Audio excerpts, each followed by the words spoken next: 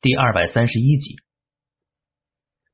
可怜的杨晨当时根本就不知道该如何下手，看着那图纸，也只能看明白尺寸样式，各种工具倒也会用。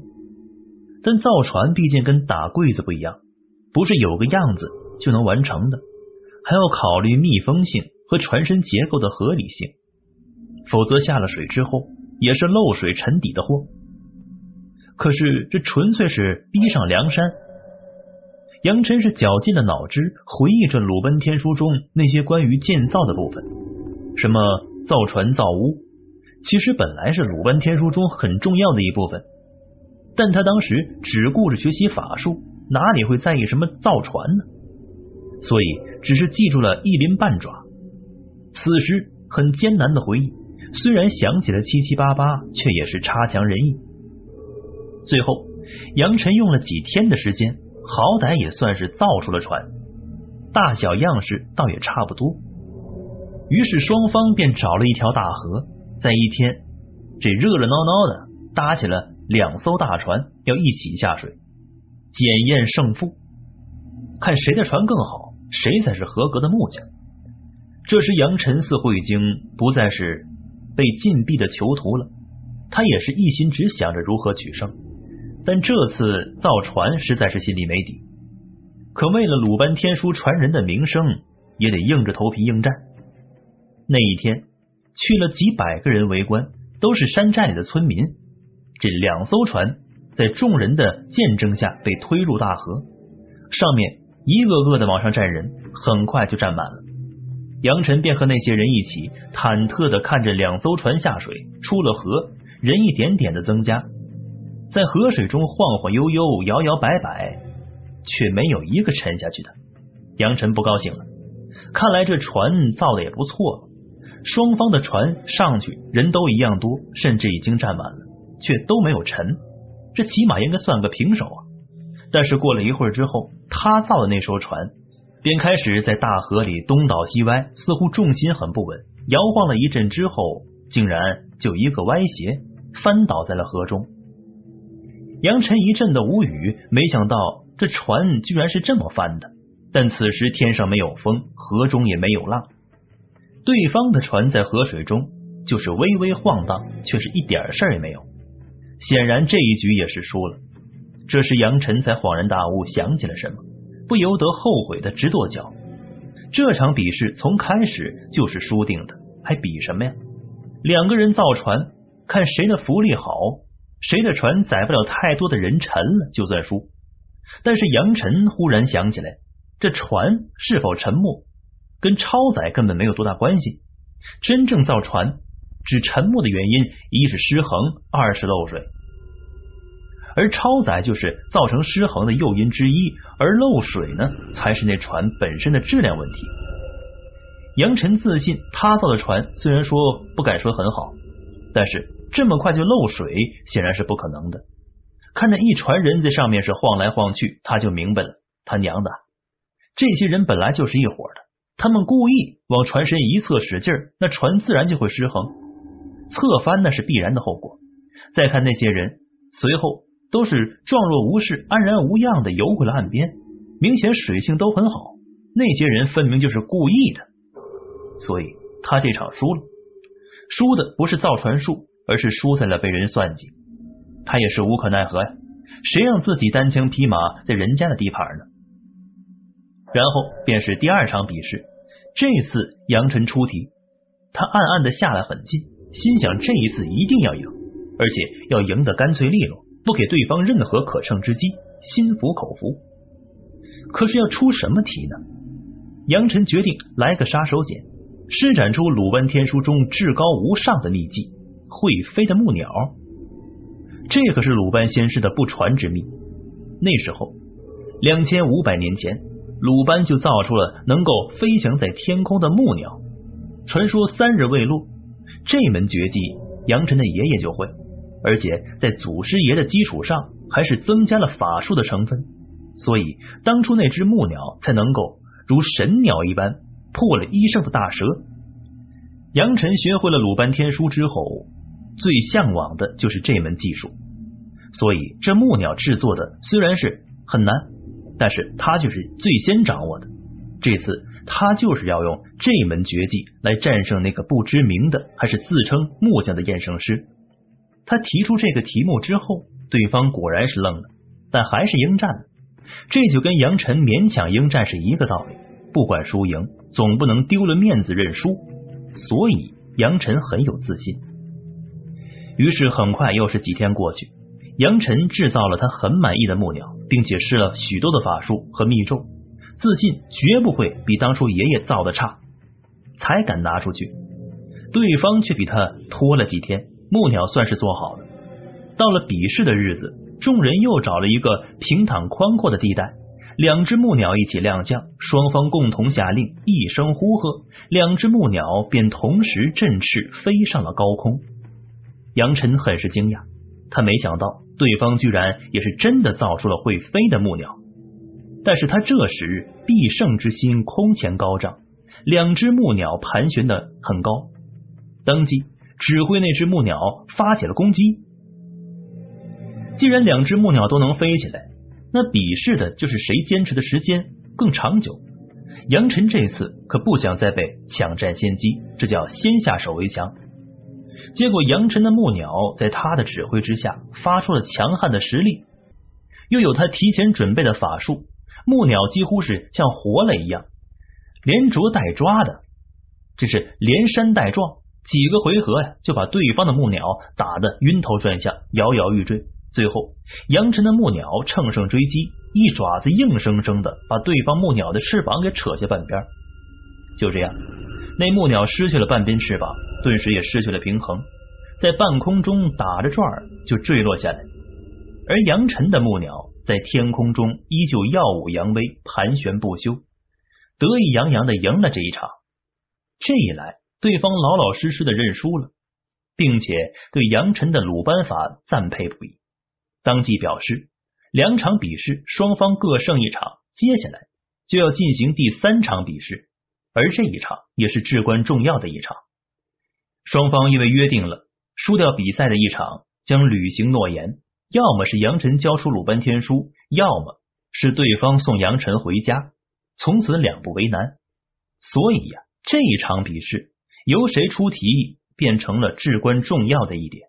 而且似乎无论谁来出题都不合适，因为双方都会按照自己擅长的出题。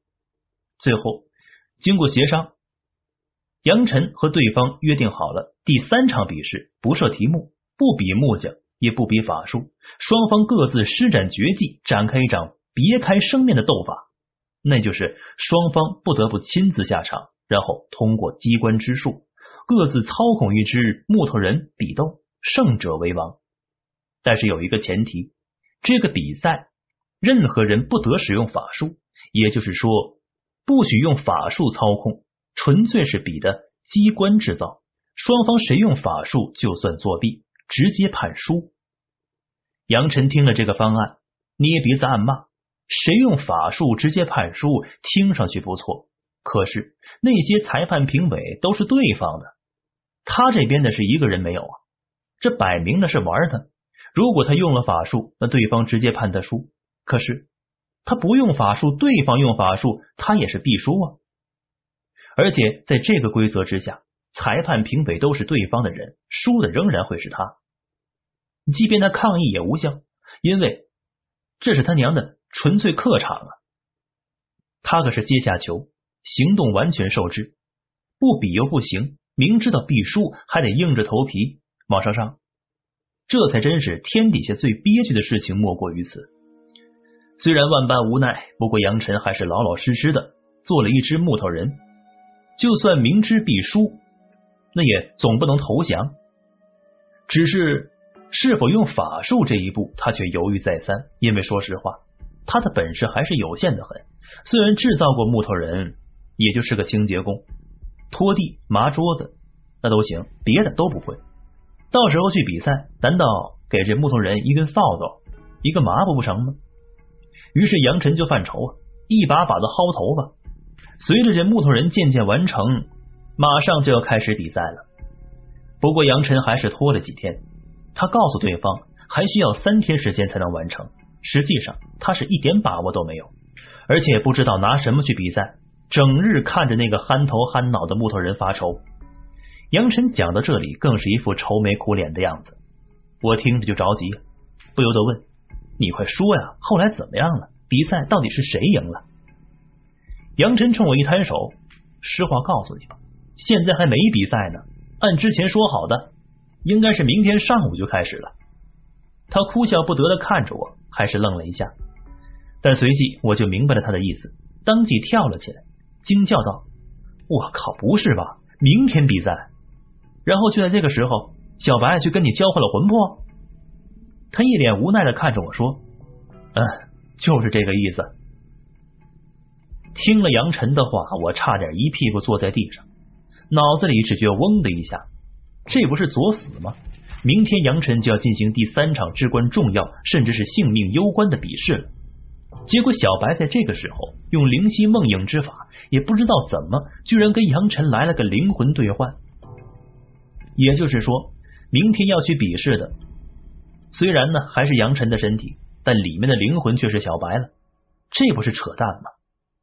连杨晨都没把握能赢，小白去了，他连半点鲁班法都不会，怎么跟人斗？我几乎已经可以预见到了，这比赛的后果一定是小白输。被人逼着交出鲁班天书，然后他也拿不出来，于是胡搅蛮缠，而且在杨晨的身体里，也不知道能不能用他自己的法术。如果不能用，那自然是任人宰割了。就算是能，我也不认为他能斗得过那些验圣师。最后无疑也是死路一条。二还是小白输，他自然也交不出鲁班天书，但他鬼心眼多，说不定会拖延时间，甚至。拉着对方去杨晨家里找鲁班天书，这么做的后果其实也是死路一条，但是能晚几天死。那么，在这两种情况都未知的时候，我到底该做些什么呢？杨晨看着我在屋子里转圈，一脸的焦急，他很纳闷的说：“咱们要不要马上出发去救他？”我说句实话，那些人可不是什么善类，之前一直没对我下手，那是有所顾忌。想要软硬兼施，把鲁班天书糊弄到手。但是明天他们要是赢了，我还是交不出鲁班天书，必定是凶多吉少。我皱眉道：“我当然知道是凶多吉少了，但是啊，那里既然是燕圣师的老窝，就算咱们杀去了，也必然要经过一番苦战。尤其是对方手上还有小白做人质，咱们人单力孤，硬拼不是什么好办法。”杨晨说。咱们可以找帮手啊！你不是认识很多高人吗？还有你那个狐仙姐姐，咱们一起去南疆救出小白不就得了？我摇头道：“不是那么简单的。现在是多事之秋，各个势力都按兵不动，谋划着自己的算盘。南疆路途遥远，如果咱们经朝出动去救小白，很容易中了对方的调虎离山之计。到时候人家在别的地方突然动手，我们回救不及，分身无力。”再被那些验生师缠住，搞不好情况会更糟。那可是总不能就这样不管小白了。那他也是必死无疑。那些人什么事儿都做得出来。我知道，你先别着急，让我想一想。我想一想。我继续在屋子里转圈。这件事情不是那么简单。我从一开始就怀疑这是个阴谋。对方先是冒充杨晨给我留纸条，骗我把注意力转移到虎谷，然后又把杨晨弄到了南疆山寨，要逼出鲁班天书。现在鬼才知道他们究竟要干什么。说不定呢，我前脚刚走，他们就来个呃真的攻打虎谷，那就又中计了。但是仔细想来，这个可能性是有的，但是应该不大，因为小白和杨晨的魂魄互换这个事情纯粹是意外。之前谁都不会想到，而且对方竟然隐瞒了杨晨的真实去向，这也就说明了这应该不会是个陷阱。也就是说，我应该可以去南疆一行的。当然了，救小白这是必须的。我只要把事情尽量的分析的透彻一些，以免呢中了对方的圈套，到时候手忙脚乱，腹背受敌。甚至我刚才都有想法，让谢志神君去南疆走一趟。但是想想，谢志神君虽然是上古神兽的后裔，法力通神，但是性格孤傲，刚正不阿，偶尔还犯点二。要是让他独自去救人，我实在是不放心。明天，明天就是比赛之期。我低低的念叨着，杨晨在旁边催道：“是啊，明天就要开始比试了。那南疆距离这里有数千里之遥，咱们得早做决定啊！要不你慢慢想着，我出去看看有没有今天晚上的机票。”好家伙，他连飞机都想到了。不过也是，这数千里的南疆，想要明天就到达，的确得坐飞机。不过他说出这话，我却忽然有了主意，忙喊住他，让他稍安勿躁。那南疆山寨既然在大山之中，就算我们坐飞机，也只能到达城市。要去那南疆大山，必然还得转乘其他的交通工具。等我们赶到那里，也是来不及。不过。我刚才想到了谢氏神君，忽然就有了个办法。他可是上古神兽，飞天遁地无所不能。我相信他要是飞起来，那速度绝不比飞机慢，而且还能直接飞到目的地，都不用转车。而且一旦有问题，我们可以马上回来。我不由得兴奋，这谢之神君妥妥的就是小飞机。想到这里，我忙让杨晨帮我护法。我则是一头钻进了玉皮丘里面，找谢智神君来救援。闲言少叙，我进去之后找到了谢智神君，把这个情况跟他一讲，他倒是很痛快的答应了。但是有个条件，带我一起飞可以，不能带别人。这是他身为上古神兽的骄傲和原则底线。我不由无语，他还有底线呢。我跟他解释，小白是和人换了魂魄。如果那人不去，两个人都无法回来，所以必须要带杨晨一起。谢智神君开始是死活不肯，他说呀，他身为神兽，不可以给人当马骑的，天大的事也不行，说不行就不行。我看着这骄傲的神兽，一脸的无奈。不过旁边的兰宁却是一直给我挤眼睛，手指不停的往四处乱指。我偷瞄了好几眼，开始没明白，后来。他不知从哪儿拿出一块玉，给我比划了一下，我才恍然大悟，一下子开窍了。于是我对谢智神君说：“既然他不想带别人，那也可以。不过有个折中的办法，就是让那个人进入玉皮丘里面，我用乾坤袋把他带着走，这样就可以了。”谢智神君呢，他就说：“你就直接用乾坤袋不就完了？干嘛还要脱裤子放屁呢？进我这里做甚？”我笑着对他说：“乾坤袋虽是宝贝，却不能直接装人，所以呀，必须要借助他的玉貔貅。”他想了半天，又对我说：“那是鲁班天书传人，也不是寻常人物。”他挠了挠脑袋，就答应了。就这样，我安排好了一切，马上和谢智神君一起出了玉皮丘。见到杨晨之后，我对杨晨把事情讲清楚，杨晨也表示同意，然后。我又问清了那处山寨的大概位置。杨晨虽然不清楚那究竟是哪里，但是凭着记忆也说个八九不离十。说完后，谢智神君也不客气，袖袍一卷，就把杨晨赶进了玉皮丘里。事不宜迟，我马上打电话给南宫飞燕，但电话拨出去之后，他又没有信号。我一阵的无语。他们那个虎谷哪儿都好，就是信号不咋地，连神州行都不行。既然无法联络，那就管不了那么多了。我想了想，便留了一张纸条在公寓的桌子上。相信如果南宫飞燕回来，就一定能看到。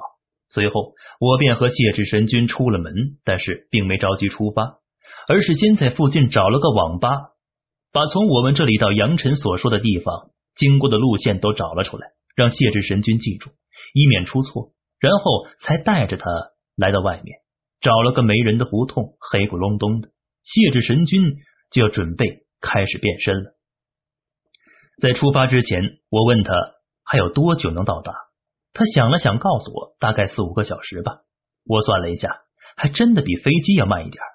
不过还是能在天亮之前到达，再加上找到那个山寨的时间，应该来得及。这已经是我能想到最快的方案了。于是不再犹豫，将手一挥，就见谢志神君。冲我瞪起了眼睛，对我来了句：“你转过去。”我顿时无语啊，感情他变身还害羞啊？好吧，我赶紧转过了身，随后身后就是一片白光闪耀。谢志神君说了声 “OK”，我转身一看，好家伙，我又看见那久违的犄角了。他冲我笑叫了一声，我翻身上了他的背，双手抱住他的脖子。谢志神君，哦，不对，现在应该叫谢志神兽。他便四蹄升起云雾，扬手一声长啸，四蹄随即腾空而起，踏着云雾往南疾飞。目标南疆大山，半空中云雾弥漫，罡风烈烈。我抱紧了谢志的脖子，不敢乱动，心中却是默叹：这真是一次。第二百三十二集，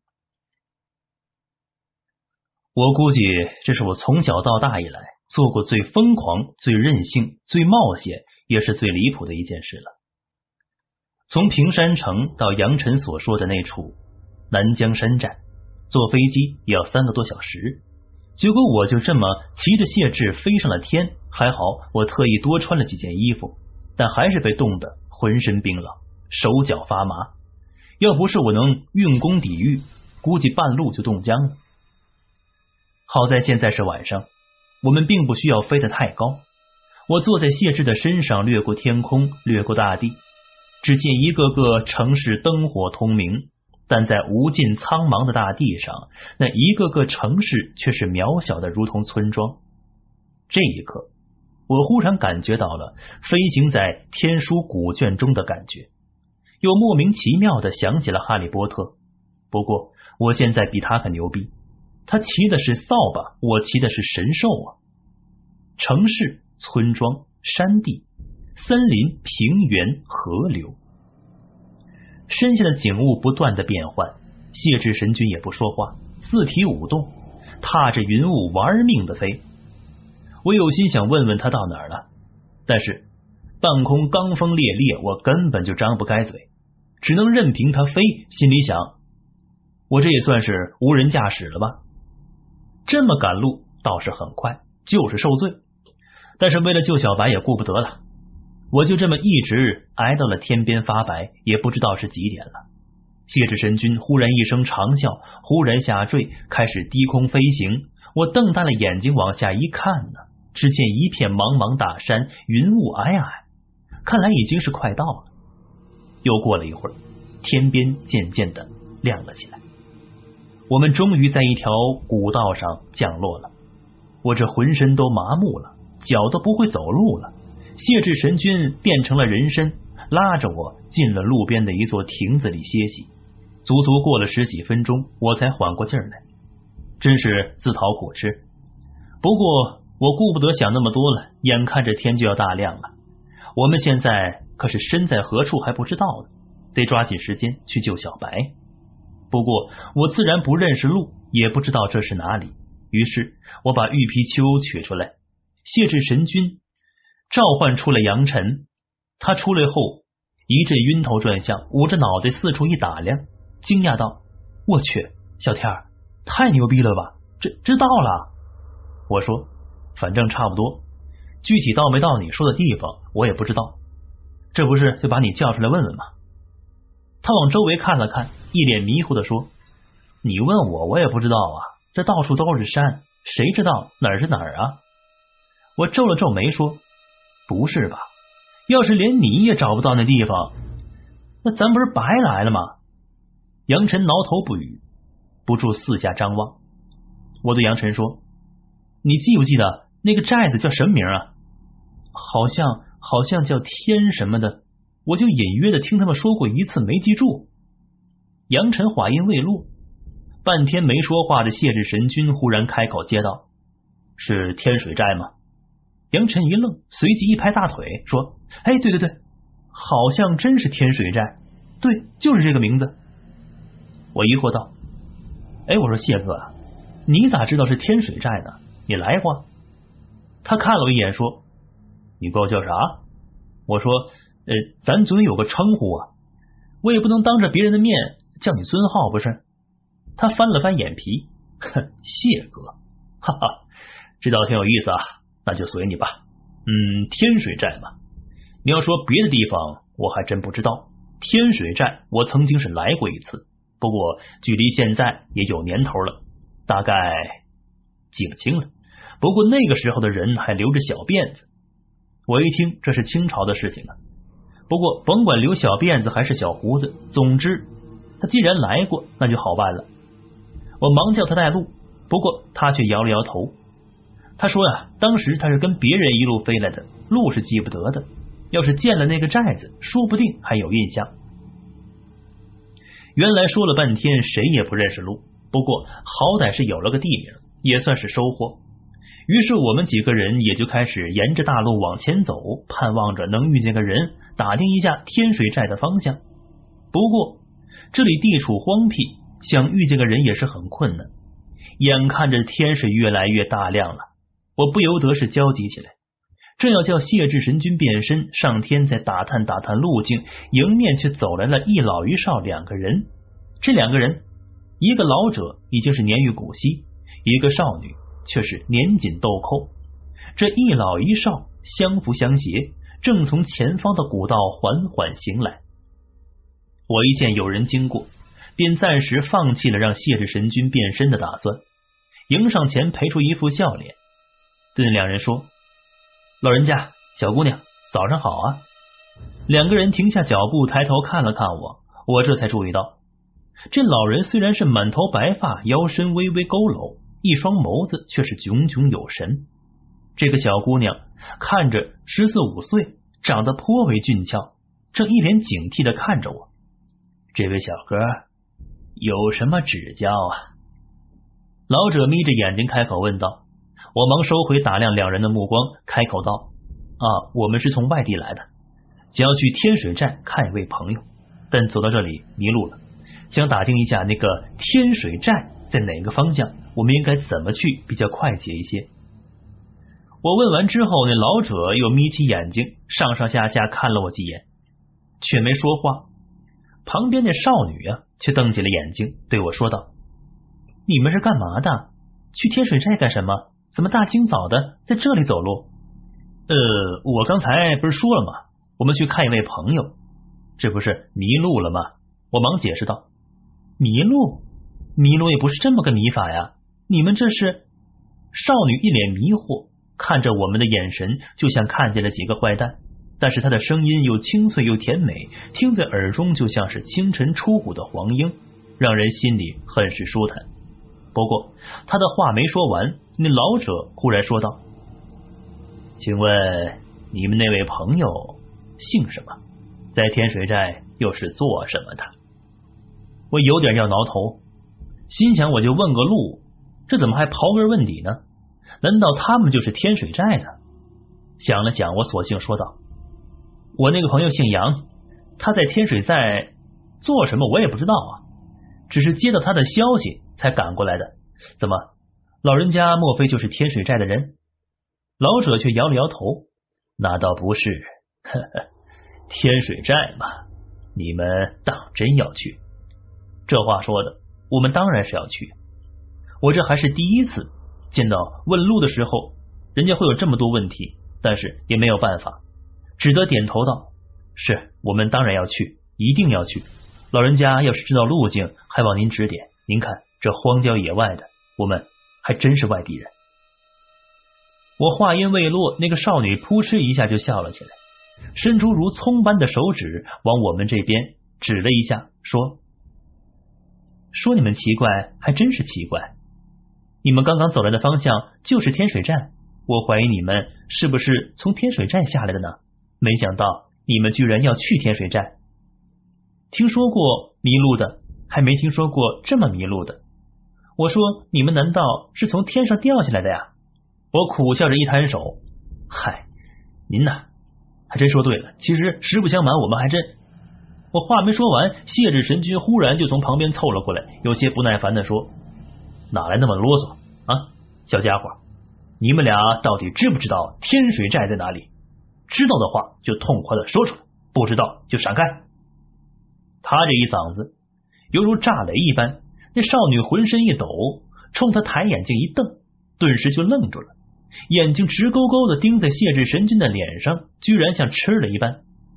再看那老者也是吃了一惊，微退半步，上下的看了谢志神君几眼，才注意到那少女的样子，立即用力咳嗽了几声，那少女才恍然醒了过来，脸上略略有些发红，目光稍低，但却还是不住的偷眼打量谢志神君。这是什么情况啊？我挠着头看了谢志神君一眼，就见这家伙是面如朗玉，剑眉星目，满头长发竖在脑后，随意飘扬，一身白衣，玉带围腰，清晨薄雾中，他浑身都散发着一股说不出的神采。好个翩翩美公子啊！我还是第一次注意到他这臭美到极点的形象。看来那少女是春心萌动了，一见钟情啊！我再看看自己，身上胡乱的套了好几件衣服，折腾一夜都皱巴巴的，估计还蓬头垢面的，跟人家谢志一比，简直就是打杂的。那老者却没在意这些，他不动声色的看了我们几眼，点头道：“那好吧，实不相瞒。”我们祖孙俩就是前往天水寨的。既然你们顺路，与我们同行即可。他说着话，伸手往前一指，说道：“前面那座大山脚下，距此步行大约二十里路，便是天水寨了。”我们终于还是走在了一路。那老者看见谢志神君之后，整个态度就来了个大转变，满脸堆笑。笑得眼睛弯弯，那一脸褶子都仿佛舒展开了。而那个少女则走在老者的身旁，故作不经意，却总是下意识的偷瞄过来，目光总是不离谢志左右。我和杨晨反倒成了跟班的，不过这也无所谓，谁让人家谢志神君光彩照人呢？我们两个凡夫俗子跟人家相比，也没有竞争力呀。我也是乐得省心，索性和杨晨走在后面。也不往前凑，谢志神君则是走在前面，和那老者并行。两个人有一搭无一搭的说着话，而且谢志神君似乎真的对这里有些印象，不时的和那个老者问话，说的都是当地的一些旧事传闻。那老者都是有问必答，两个人聊的是不亦乐乎。就这样，我们一路前行二十里路，说远不远，说近不近。就在日头渐渐升高之时，我们终于来到了前面的一座大寨面前。远远望去，就见这寨子里面房屋颇为整齐，街道宽阔。寨子里一侧便是起伏的群山和梯田，这一条大路笔直的通往寨内。杨晨忽然说道：“对了，就是这里，就是这里。”说着，他指着寨子另一侧的方向说。我那边走不远，转过一个山脚，就是一条大河。上次就是在那儿。那老者忽然转身对我们说：“前面便是天水寨了，各位请自便吧，我们有事就不再同行了。”说完，就拉着那少女一起走了，连头也没回。那少女回头看了谢志神君一眼，忽然做了个手势，便跟着那老者一起去了。我开玩笑的撞了撞谢志神君，说：“谢哥，小姑娘看上你了。”他冲我瞪了一下眼睛，别闹，这就是天水寨了，怎么进去抢人不？我回头看看杨晨，你还记得你被关在哪里不？还有，今天那个比试几点开始啊？在什么地方？咱们得抓紧时间制定一个救人计划。杨晨看了下时间。现在差不多八点了，我们虽然没有定具体的时间，但是想必也快了。现在我有两个办法：一是马上找到囚禁我的那个地方救出小白；二是等到他们出来，半路下手劫人。我问他，如果直接去囚禁你的地方救人，我想那里必定是守卫森严，而且机关禁制较多，对不对？他点头道：“不错，的确是这样的。要不然我早都想办法逃出来了。”我说。那就用第二个办法呗，等他们出来，半路劫人，这样似乎比较容易得手一些。但是我刚说完，杨晨却皱眉道：“但是此时情况不一样啊！要是你们救我，用这个办法行。可是谁知道小白现在什么样啊？如果说他真的要去比试，死活不肯怎么办呢？那咱们守在外面，岂不是白费力气？”我想了想说：“那就这样，咱们兵分两路。”你对这里比较熟一些，你去打探消息，我们呢在寨子外面等你消息，如何？他摇了摇头说：“那也不妥，咱们都是生面孔，到了寨子里必然有人盘问。你看着好像是个普通的寨子，里面却是高手如云，不是那么容易混进去的。想要进出自如，那是难上加难。那谢哥，你本事比较大，要不你进去打探一下消息如何？”我转头对谢志神君说道，他就在旁边，已是一脸的烦躁。闻言道：“你们好麻烦呢，不就是区区的小寨吗？直接杀进去不就完了？谁敢拦路谁就死，把人救出来就走，哪那么多啰嗦呢啊？商量来商量去的，等你们商量完了，人都死翘翘了。”我忽然觉得有些奇怪，自从到了这里，他就好像有些反常，总有些莫名其妙的烦躁。谢哥，我不是想和平解决吗？你想啊，这里必然是住了很多平民，真要是一路杀进去，那必然死伤惨重啊！再说小白在他们手上，那就是人质，对方也不是吃素的，到时候用小白胁迫，咱们反而被动了。要是能有更好的办法，我的意思呢，就是最好不要硬来。他却还是一脸不屑，嘴都快撇天上去了。我知道他这骄傲的毛病又犯了。也许他们神兽就是这个样，就是不喜欢和凡人打交道，总觉得自己血统神圣，比这些凡间的普通人要高贵许多。我便不理他，转身继续和杨晨商量。不过这个时候，我却忽然想起个办法，干脆我隐身进去算了。我那隐身法连医圣都破不了，还看不出来，估计这里的人本事再大也有限。而且啊，又糊弄个守卫什么的，那更是没有问题。事不宜迟，说干就干。但是啊，就在我取出隐身符的时候，耳中只听一阵急促的铜锣声传来，就见寨子中忽然有许多人从各个方向汇集，纷纷往一个方向跑去。平静的寨子里忽然就人声嘈杂起来。杨晨脸色微变，说：“不好了，比试马上开始了。之前就是这样的，看来混进去救人的方法行不通了。”我抬头往前看，那人群熙熙攘攘，很快就聚集了一大群，不由得心中一动，对他们说：“这样也好，既然乱了起来，咱们就趁机混进去，对不对？也省得有人盘问了。”他们这次一致表示同意，于是我们便不再纠结，迈步就往寨子里走去。此时寨子里那是乱七八糟的，反而没有人注意我们。就这样，我们跟着人群。径直往寨子深处走去，一路上杨晨的表情很是紧张，不住的东张西望。我知道他现在的心情，毕竟他现在是小白的身体，这马上就要见到真正自己的真身了，肯定是觉得又别扭又紧张。这种感觉，别说是他，我想起来都感觉很别扭。走着走着，一抬头就见着自己了，我这个乖乖呀，想想都感觉太灵异了。很快，我们便来到寨子中的一处广场上，四面八方的人群汇集到这里，便自动围成了一个圈中间偌大的一块空地上，已经打开了场子，上面摆放了数张桌子，后面呢坐了几个肤色怪异的人，有老有少，面目却都是阴消的很，不时的街头交谈，又时而抬头看向一侧的通道。杨晨低声说。那边就是禁止我的地方，看来真来不及了。你看，那个跟我比试的两个人来了。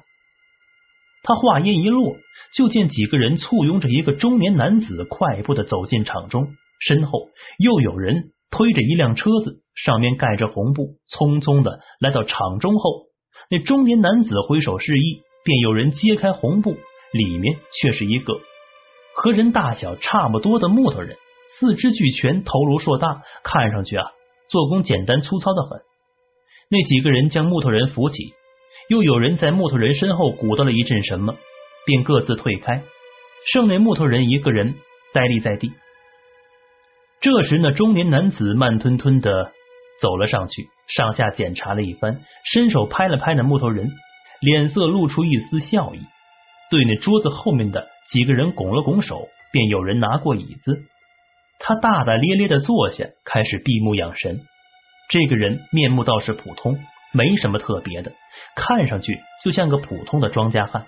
但是杨晨却悄悄在我耳边说：“这家伙叫赤木，在这里颇有地位，手段也很厉害。要不是说好了比试，我估计我还真不是他的对手。”他这话我倒是相信。他正经八百的学鲁班天书，总共也不到一年，但看那个人的气度和年龄，必然是修道日久、道行颇深的。杨晨跟人家比，必然是要差许多。但是杨晨是鲁班天书的正统传人，虽然综合素质也许比不上人家，绝招却是不会少的。所以他是第二场比试木鸟，倒是凭真本事赢的。不过我等了一会儿，却是不见小白出来。不由得纳闷道：“奇怪了，怎么不见小白出来呀？就算他不愿意比试，也该闹点动静出来呀！怎么一点声音都没有啊？”说来也巧，我话音刚落，就在这时，另一侧人群忽然分开，一阵吵声中，也是几个人推着车走了出来。红布一揭开，里面也是一个木头人，看上去跟刚才那个倒是长得差不多，而且在那个木头人现身之后。一个人才慢慢悠悠的从后面走了出来，脸上还挂着似笑非笑的表情。我定睛一看，不由得一颗心提了起来。这正是小白，当然是杨晨的身体，小白的魂魄。不过看他这样子，我心中是暗暗的惊讶。难道他居然真的要跟对方？